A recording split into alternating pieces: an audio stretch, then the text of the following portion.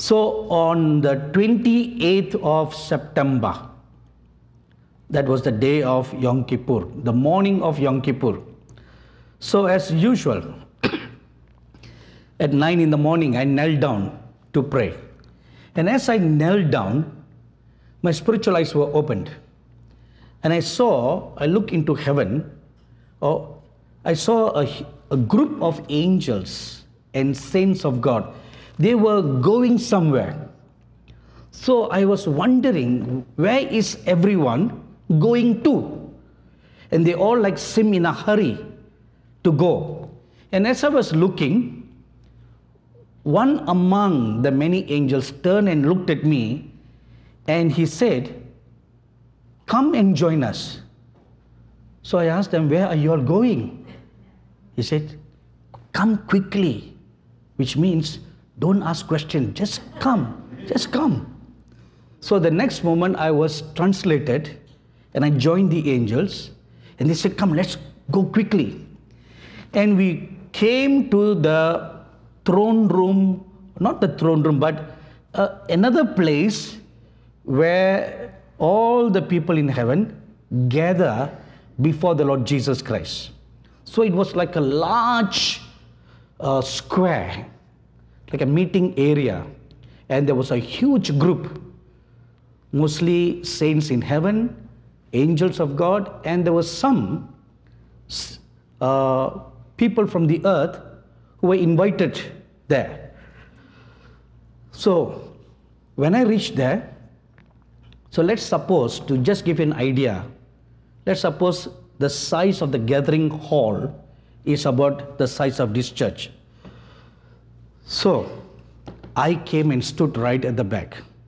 You know, they all are saints, and I'm just a commoner. Isn't it? Right, yeah, I'm a commoner, you know. So I always feel a little bit uh, shy and a little bit, um, I don't even say a little bit, too much, uh, unqualified to stand in that holy gathering.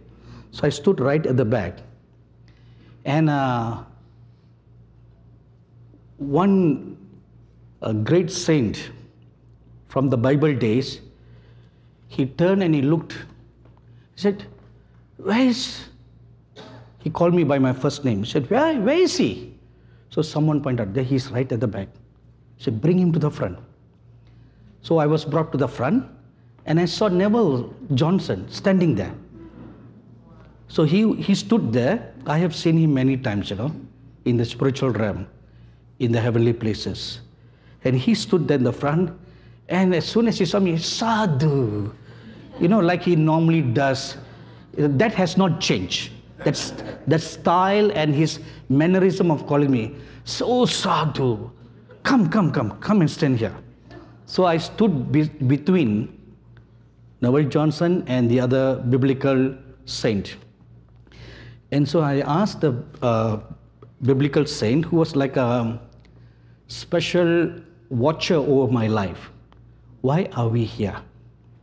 So he told me, today the Lord is going to make a very important announcement. That is why we all are gathered here. And that is the reason why you have been brought here. Because your job is going to bring this message to the world. So that's why you are here. So, then the Lord began to speak. First, He spoke generally and then he looked specifically at me and he said, Now, this is what you must bring to the nations. And saying that, he said, Before you give the word, you must show them one thing and place it on the pulpit, and then you give this word. So that's what I'm going to do now. I've never done anything like this in my entire life. So this will be a first.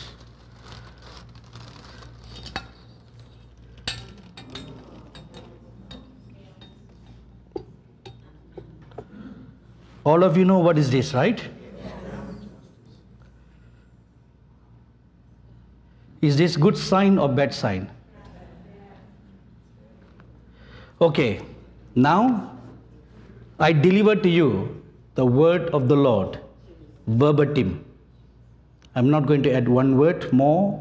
I'm not going to one word subtract. I'm going to read to you as how the Lord spoke to me. The nations are weighed in the balances and found wanting. That's the first word. You read this in Daniel chapter 5, verses 25 to 28. And this is the inscription that was written. So, what happens here is, if you may remember this passage in the book of Daniel, King Belshazzar had threw a great party for his nobles, his wives, and everybody. And as they were drinking from the holy vessels from the Jerusalem temple, the hand of the Lord appeared and began to write on the wall. You remember that incident? Okay, that is what is, uh, that's the passage I'm reading from. So the hand wrote four words. Okay, so now we'll continue from the scriptures. Daniel chapter 5, verses 25 to 28. And this is the inscription that was written Mene, Mene Tekel, Upharsin. And this is the interpretation of each word. Mene, God has numbered your kingdom and finished it. Tekel, you have been weighed in the balance and found wanting. And Peres, your kingdom has been divided and given to the Medes and the Persians. So, this is a passage of scripture that we find in the book of Daniel. And the word of the Lord that he first spoke is the nations are weighed in the balance and they are found wanting, meaning lacking. They are lacking on one side is the righteous standard of God. On the other side is the standards that are practiced in the nation. The heart and the soul of the nation. How does it stand? So they are put on one side and God's holy standard on one side, and then to see which goes higher, which goes lesser, or they stay balanced, equal. So the standards of the nations are equal to the standards of God. And the Lord Jesus continued to say, My Father's hour of judgment is coming. Who will bear? It will be fire and brimstone. Now, the word fire and brimstone was first mentioned in Genesis chapter 19, verse 24, where we read that God rained down fire and brimstone upon Sodom and Gomorrah. So, when the Lord spoke this, all the saints that were gathered there, they lifted up their voice at the same time and they said, Oh Lord, your judgments are right. The nations are turned against you, and your laws they have devised wicked ways against your kingdom and your children. Their thoughts are wicked. So, after saying this, then the Lord spoke this. Now, this is about the United States of America. So, from now onwards, what I whatever I'm going to share with you is all centered on the United States of America. America will be judged. That's why this weighing scale is here. And I'm sure you have heard this over and over and over, and so much so, most Christians just couldn't care less about the word America will be judged. Am I right? Yes. Am I right? Yes. Let's be honest. Yes. Am I right? You see, you have, you have heard this over and over. Even I myself have stood here and in several other conferences in the US and have said the same thing. But if God had judged when He first spoke those words, where would we be today? We would have been gone to hell, you know, right? You wouldn't be sitting here and enjoying the grace of God. If He had executed His judgment there and then, when the word was first spoken over this nation, where would we be? So again, He extends His grace. He extends His grace. One more year, Lord. One more year. One more year. The Lord Jesus Christ goes and stands before the Father God and He prays, One more year. One more year. One more year. It's because of His prayers the judgment is postponed, postponed, and postponed. But there will come a time where it cannot be postponed anymore, right? There will always come a time. And now is that crucial time. That is why, at such a time as this, the Lord specifically told me, now you go and bring this message. So, America will be judged. How will she be judged? Two ways. A flood is determined for her, it will devastate the East. A fire is appointed for her, it will devastate the Midwest. So, to the east is a flood, to the west is fire. I don't exactly know why, but I'm just saying to you what the Lord told me. A flood is determined for her. It will devastate the Mid East. And a fire is appointed for her. It will devastate the Midwest. Then the Lord Jesus looked at me and he said, Now I want you to go to America and warn them of the judgment that is coming upon them. Now, please listen very carefully. If they choose the wrong president. You know, this is the second time in my entire ministry in the US from 1991 till now, where the Lord specifically spoke to me concerning the destiny of the United States in relationship to choosing the right president. I've never heard from the Lord in the previous years like that. So, he said, Go and warn them of the judgment that will come upon them if they choose the wrong president. He, now referring to Mr. Trump, should continue for another term for God's purposes to be done for this nation. Which means God is extending His grace towards the United States of America for one more time. One more time. You know, sometimes you cannot see what is taking place behind the scene. We look at a person's external acts and then we want to hurl stones at him, throw all kinds of brickbats. This is a good for nothing president, this is not nonsense president. During a recent online study that we were doing, I felt a stirring one day and I made an appeal to all the students who were on our class.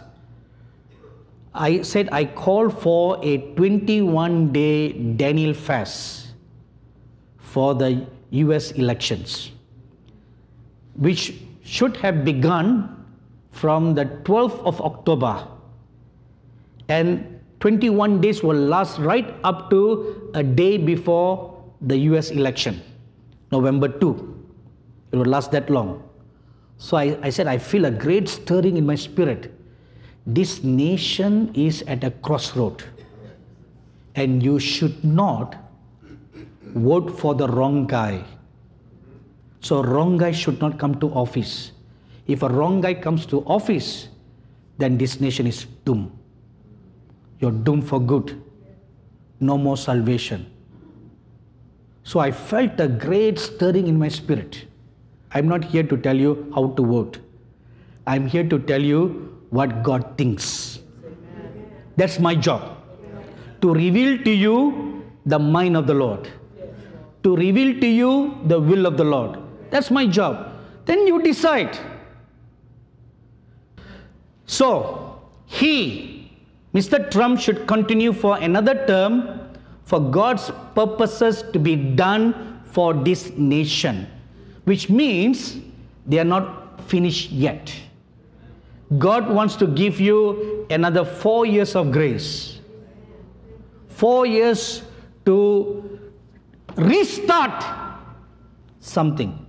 Restart. It's a restart. So, this first four years was just following the ground, following the ground. So, the next four years will be for the seeds to germinate, for the shoots to come, and for flowers to come, and for fruits to come, and the tree to blossom and grow.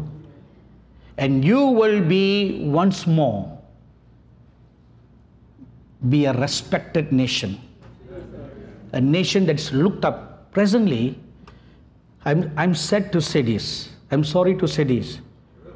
No nation in the world respects America. The high reputation that America once had is at all time low. It's not because of Mr. Trump, not because of him. It's a system that has accumulated like dust, you know.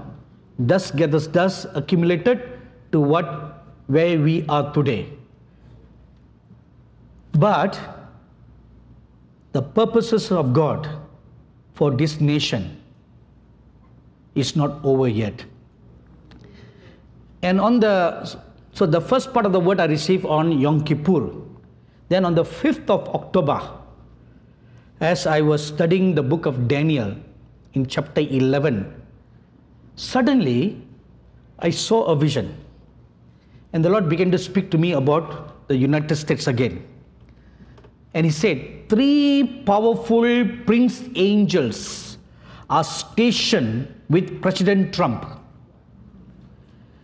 Just like the angels stood with King Darius to strengthen him. You read that in Daniel chapter 11, verse 1. This angel who stood with King Darius, now King Darius is not a Christian. He's not even a Jew, he's a Gentile, a Persian king. But God's prince angel was appointed to stand with him, to guard him and protect him.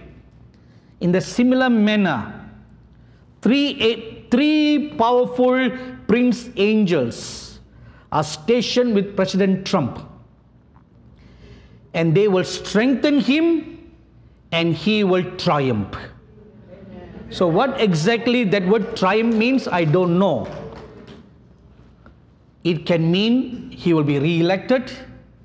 It can also mean he will overcome all the brickbats that were thrown at him. He will triumph. So, I don't want to add in my own opinion or commentary there. And the Lord Jesus said this I love him. He is my servant. And when the Lord Jesus spoke that, I saw tears coming down his eyes. He said, I love him. He is my servant. He will fulfill my will for this nation as well as for Israel. If the Christians in this country will gather together in groups in churches to pray sincerely without prejudice and bias. Then I will push back the enemy's plans to thwart Trump. Right now, all hell has been released against Mr. Trump. That is why even the good media who are supporting him suddenly turned violent, suddenly have turned against him. It is all the work of the enemy. How can they suddenly change? Nobody suddenly changes, you know. It's the work of the enemy. So, what does this tell us? Prayers for the president has gone way down. Way down.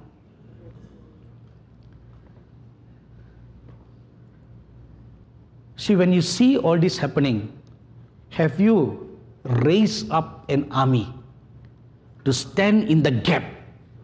Do a 24 7 prayer watch. Let's surround, surround the president with prayer. Make sure he is fully guarded. How many? How many we sincerely do that? To just simply pray a normal prayer amounts to nothing.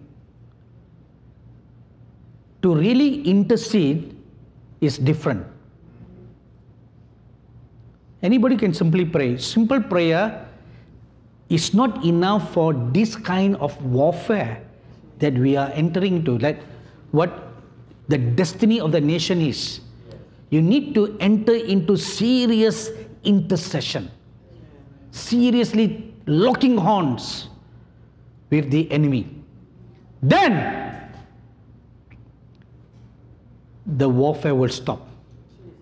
Then the enemy's plans to thwart the election or to rig the election will all be failed. Even, you know, do you know that even a large number of evangelical Christians don't want to vote for Mr. Trump anymore? I am shocked. So they'll rather have a wrong man into the office than God's choice. If you look at the history of the kings in the Bible, even those who are handpicked by God, they were never perfect. Right? They were never perfect. But they were God's choice. So you cannot expect a perfect person to be in the office when the citizens are not perfect. Right? When we are not perfect, how can you expect another man to be perfect? There'll be bound to be ups and downs. The most important issue is who is God's man? God calls Nebuchadnezzar, another heathen king, He's my servant. Cyrus, another heathen king, he was called by name in the Bible, you know, 500 years before he was born. I was amazed when I read the scriptures, you know, maybe 100, 100 years before Cyrus was ever born. His name is written in the Bible. And God calls him, He is my servant who will do my will. And during the reign of King Cyrus, what is that one will of God that he, he did? To release the Jews to go back to Jerusalem.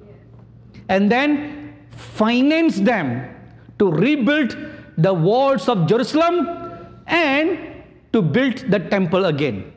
That's all he did. And that was his destiny. But what, how was his reign?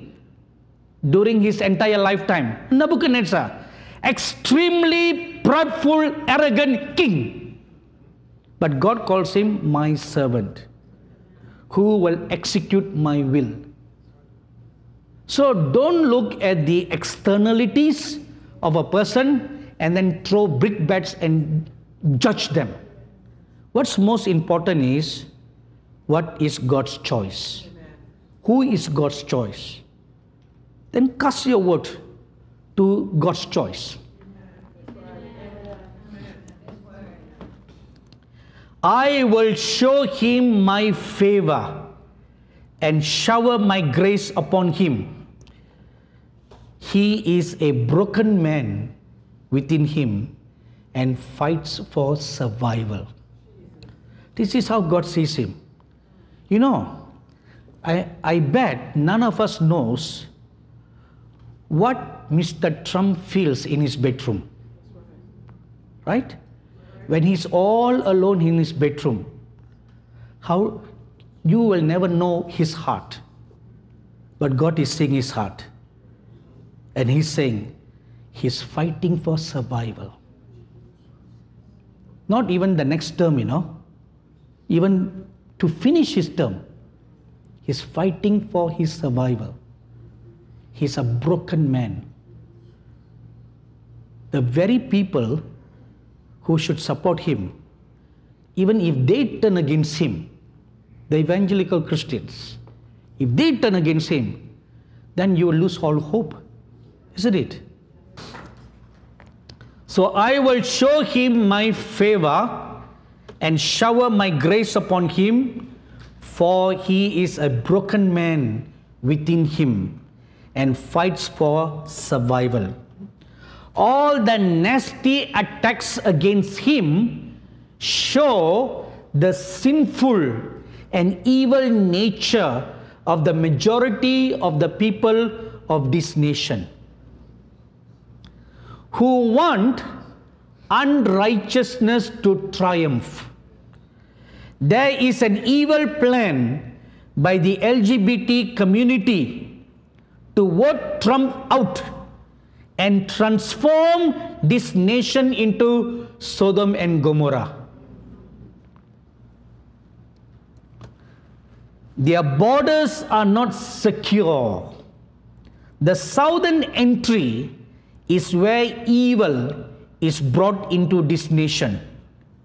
Even witchcraft, sorcery, and abominations of many kinds are brought into this country through that access. The enemy is fighting hard to prevent the wall of protection from coming up. You know, I, I have seen in multiple visions that groups and groups of witches and wizards chanting and putting curses upon Mr. Trump. They are chanting, they are concocting all these potions, and they are putting curses upon him. And also, they are working doubly hard so that Judge Amy is not voted to become a Supreme Court justice. It's all the plans of their enemy working terribly hard. And what do the Christians do? Sleep. Sleep. You don't care when they who work for Satan can be so fervent, how should the church be? No, you are fighting with one another. Right? We are busy making videos and putting on YouTube criticizing this church, this pastor against that pastor, against this, against that. What are we doing? Instead of using the sword to fight against the devil, we are using the sword to fight with one another. Is that the reason why the Holy Spirit gave you that sword? The sword of the Spirit is not to fight with each other. I am not your enemy, you are not my enemy. Right? The principalities, the powers, and the rulers of darkness and the spiritual wickedness in the high places, they are our enemy. So we should war against them, not against one another. But look how successfully the enemy has caused us to be diverted. But even in the midst of all this, that is why God finds us absolutely untrustworthy. So, one last chance now.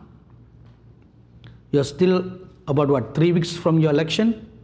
So, about three weeks from election. So, I humbly and lovingly, lovingly ask you on behalf of the kingdom of God, the Lord God who sent me to you, to stand in the gap, to fast and pray for your president, and every Christian in America will make the right choice. They will not be swayed by popular opinion. They will not sway by all the propaganda that's come from the media. All those things that are against, they will not be fooled. But the angels of God will go forth and to lead and guide every American, especially evangelical Americans, to make the right choice. So, when the Lord spoke about the borders, I saw in a vision mighty angels of God standing on the US side, and across the border, I saw evil, mighty, fallen angels, and they were standing on the other side. And the fallen angels, they looked at these angels of God and they were hurling insults, threats, and vulgarities. They were just throwing at them. Now is a message for the churches. The churches that do not seek me, them I will judge. They have allowed so much of corruption to come inside them. They must be cleansed and sanctified. Let the righteous ones arise and put their houses in order. Let them seek me to know my ways and my plans for them. My eyes are upon them. Let them surrender their ways to me and seek me. I will teach them and guide them. They shall not fail but succeed. In conclusion, the Lord said this Behold, I am coming to visit this nation. And I want to tell you truthfully during this first term, that which was assigned for him, he has fulfilled. As far as his part to restore Israel back to its glory. That first part he has done. Now there's another part he needs to do. That is to bring this nation back to righteousness. So that can be done in the next term. Only in the next term. So, this is where the Americans must not be foolish to look at the wrong numbers, to look at the wrong facts, and then come to a wrong conclusion. Great things are at stake. So, please, I lovingly urge you bend your knees have a regulated, coordinated fasting and praying. Let's follow the Daniel pattern. Fast and pray until your election day. You must never get away from your gut post until the results are announced. Amen. You cannot relax until the results are announced. Because anything can happen, right? Yes. Anything can happen at the last moment. So until the results are announced, don't leave your battle post.